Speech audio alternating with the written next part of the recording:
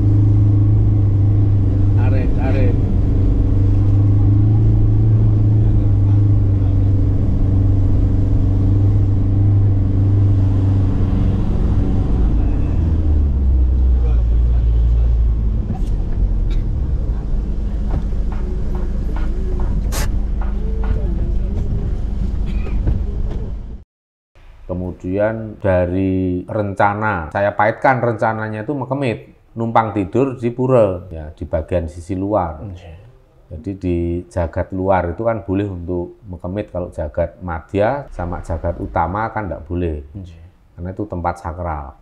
Itu sudah kita siapkan, saya bawa banyak-banyak bahan makanan. Bahkan lauk-lauk yang sudah siap saji seperti sambal kering, kemudian abon dan semua saya bawa. Mas. Sambal juga bahan untuk sambal nanti tinggal dibuka, diulek bawa wajan, minyak goreng, beras, termasuk dari Mas Mahfud itu yang nitip beras untuk makanan. Ngapun namung sakit, kan? sakit nah, Jadi itu kita manfaatkan nanti saat bangun tidur, terus kemudian pagi-pagi kita siapkan masakan itu. Dan masakan itu nanti kita kerjakan bareng-bareng dan nanti dibagi tiap kelompok supaya bisa lebih cepat. Magic jar kita juga bawa detail sangat. Yes. Tapi hmm. karena ya memang sudah itu tadi lah. Saya makin yakin bahwa kalau hmm. kita ini tidak manja, Jee. kita akan justru mendapatkan kemudahan. Oh, Ibaratnya begini mas, kalau di jalan ada orang yang kelihatan males, orangnya malesan, orangnya sering mager, ya, nggak mau nolong, nggak mau kerja, kita mau ngasih duit kan males juga kan mas. Nje. Tapi coba kalau melihat orang yang kelihatan tulus, misalnya tukang parkir nih, tuk, sebenarnya bukan tukang parkir tapi security di hmm. toko, terus kemudian kita mau keluar ke jalan, padahal dia bukan, bukan tukang parkir. Hmm. Tapi dia tuh membantu kita untuk keluar dari halaman menuju ke jalan raya. Dan posisinya tidak di sebelah kanan mobil, tidak mengharapkan dikasih uang artinya kan. Nje. Tapi dari sebelah kiri. Nje itu kan kelihatan ini orangnya tulus. Justru orang seperti itu biasa kasih hmm. sepuluh ribu, dua puluh ribu untuk memberikan tondo tresno iya. apresiasi gitu. Iya. Tapi kalau orang yang saat kita kesulitan parkir nggak ada yang bantu, begitu kita mau keluar enak aja orang nyelonong parkirin itu kan kadang kesel juga. Maka gitu tuh ya udah kita kasih uang pas aja, paling tiga ribu hmm. gitu aja kan. Nah, tapi kalau orang yang kelihatan terus pasti kita lipat gandakan. Yeah. Mungkin seperti itu juga para leluhur agung, para kadewatan menyikapi kita. Kalau kita ini gigih, tidak bermanja-manja, kita menyiapkan diri sebagai orang yang punya mental yang kuat, mandireng hmm. pribadi, yeah. itu justru mendapatkan welas asih yang berlimpah dari para jagat dewa batoro.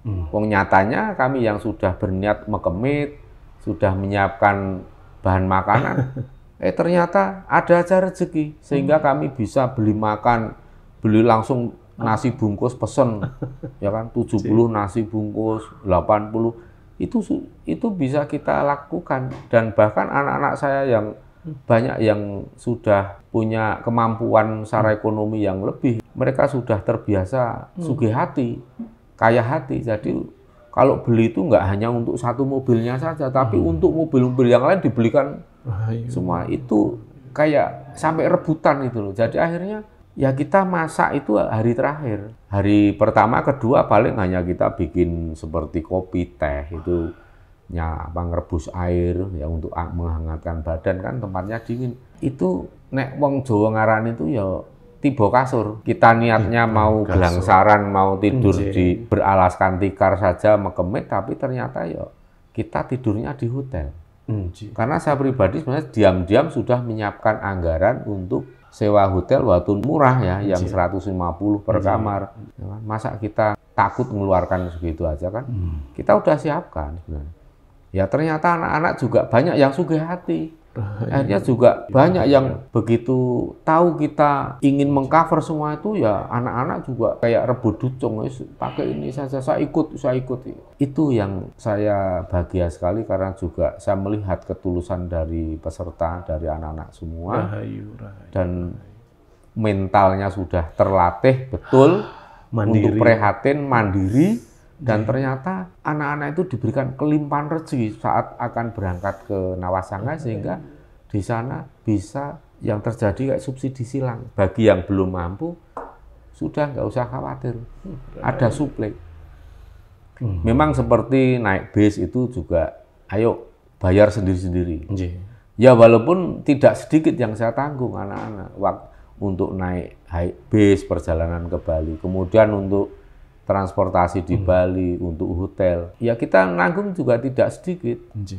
Tapi kan tidak perlu kita keluar-keluar di depan. Nanti saja kalau udah ini, jadi jangan khawatir, madep mantep untuk mundi dawuh para jagat dewa batoro para leluhur pasti nanti semuanya akan berjalan hmm. lancar. Nah, ini namanya kita ini kalau doa itu kan sikap kita itu harus sikap. Memantaskan diri dulu mas. Ibaratnya kita ini tidak dicap sebagai orang yang serakah, yang kemaruk, yang nggak tahu diri.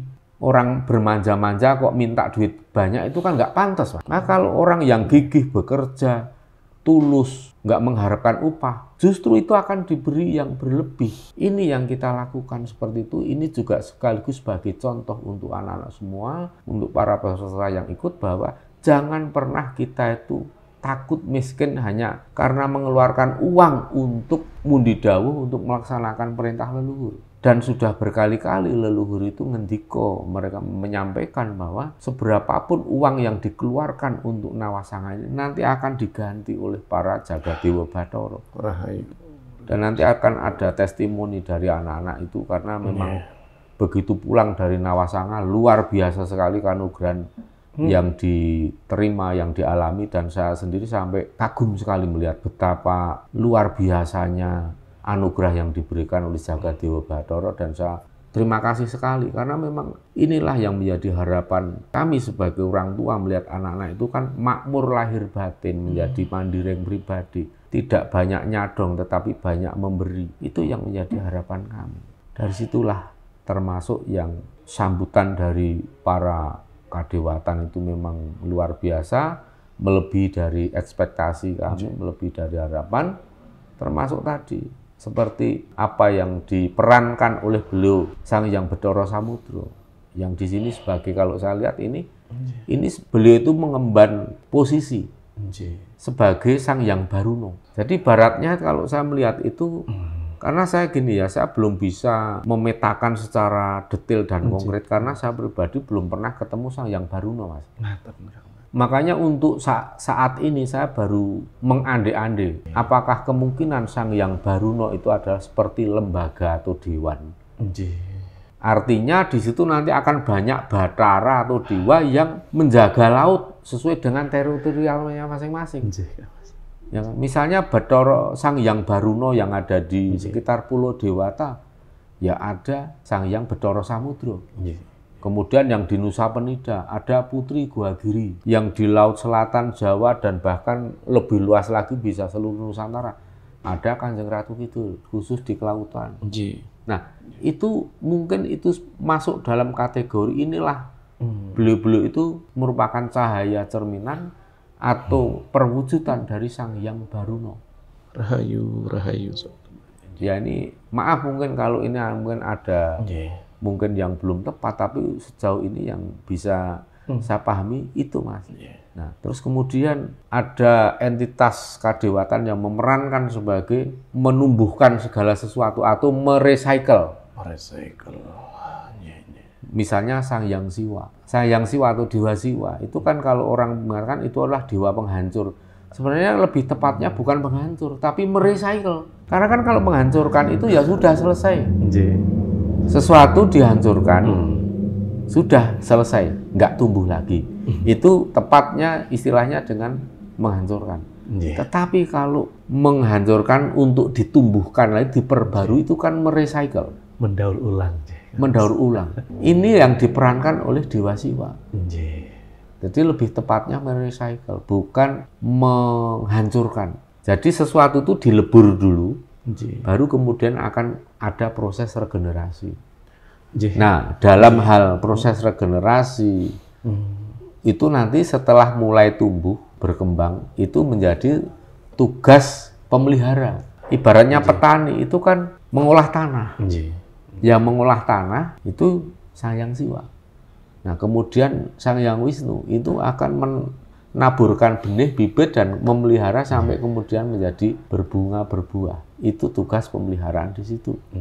Dan semua itu butuh energi, butuh panas. Tanpa ada panas nggak bisa tumbuh, bahkan nggak bisa lebur. Ya di situlah peran dari sang yang Brahma atau Brahma atau Batoro Agni. Nah, di situlah kami memahami dan ternyata tidak hanya dongeng, karena terus terang saya pribadi sudah pernah melihat, menyaksikan Rahayu, rahayu. adanya Dewa Siwa, Dewa Wisnu, Mahadewa atau Ide Bedara Mahadewa, Sang Yang Samudra, Putri Gua Giri, dan bahkan yang terakhir kemarin, selain di situ ada Dewi, yaitu dewa yang feminin. Nggih. Di Pura Ulun Danu Batur itu Pura para Dewi, jadi itu akan banyak ketemu para Dewi di situ. Ada Dewi Saraswati bisa juga ketemu di situ. Karena tempatnya Sang Yang Wisnu. Terus kemudian ada apa Dewi Laksmi. Kemudian ada Putri Ulun Danu Batur.